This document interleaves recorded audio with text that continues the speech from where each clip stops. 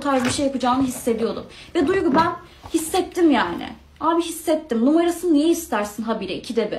Instagram'la alakalı en basit. Hesabını kişiselden profesyonele çevirmek için Veysel'in numarasını istiyor. Abi Veysel senin birincisi hiçbir şeyine uğraşmak zorunda değil. Arkadaşımsın diye yardımcı oluyor sana. İkincisi yani üstüne giy dedikten sonra tekrardan ikinci kez çıkarman garip abi. İstediğiniz kadar konuşun, istediğiniz kadar anlatın. O an belki burada olmadığınız için size garip gelmiyor. Ama yemin ediyorum ki Veysel utanıp içeri gitti. Duygu diyor yani o şekilde durmadım hani bu şekilde durmadım falan diyor ya. Veysel zaten öyle bir hareket yapınca direkt içeri gitti. Birkaç dakika sonra da evden gitti. Bak yemin ediyorum size.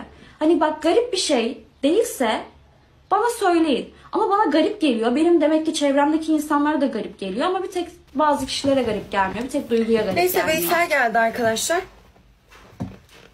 Daha Veysel içeri girmeden ben Özgür'den pijama istedim. Bu düşüncede olan bir kız, benden bahsediyorum. Bir arkadaşın video çekerken Veysel'in yanında altında sadece göğüs dekolte siyah bir crop verken sivitimi çıkarmışım. Ama öyle bir lanse ediyor ki sanki benim altımda hiçbir şey yokmuş. Altımda bikini varmış, altımda sütyen varmış gibi konuşuyor. İnsanlar da böyle anlıyor. O kadar komik ki yani güleceksiniz.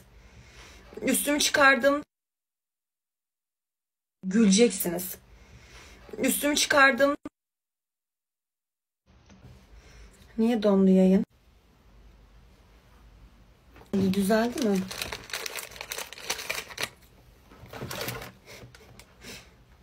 Hazır mısınız?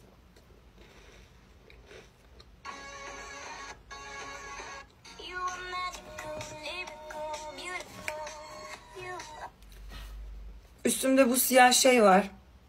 Sivitimi çıkardığımda. Bundan dolayı benimle arkadaşlarım bitirmiş.